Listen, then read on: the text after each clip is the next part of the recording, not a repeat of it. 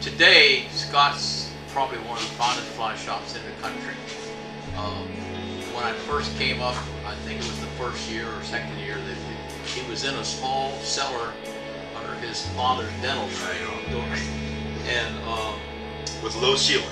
I was, what. I was so impressed with was the quality of the materials that he was selling. Sure, Really. And that has progressed. Now, uh, the next time I came up, still there, but he had more materials. He had, I don't know where he found the room. The next time I went, he came here in Taunton, and he had a, he'd got a warehouse, and he built a box in one end, which was a shop, and then he had a place to cast.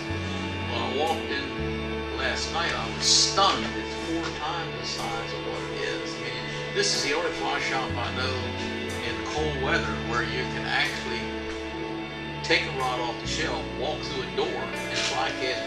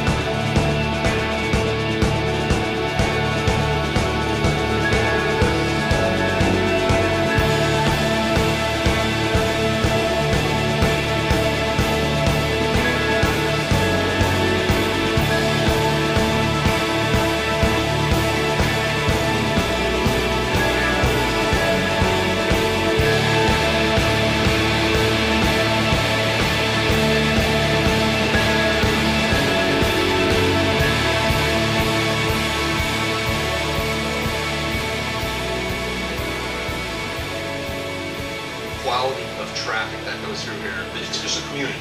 It's- And if you're, if you're into fishing of any kind whatsoever, young, old, females, we ran into several women today.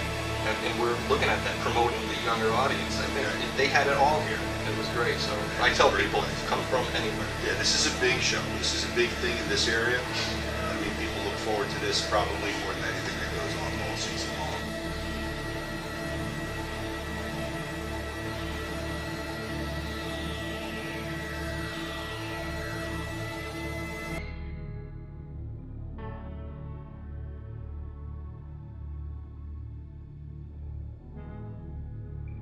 As fly fishermen of the East Coast, we're very grateful to have the Bears Den here in Taunton, Massachusetts.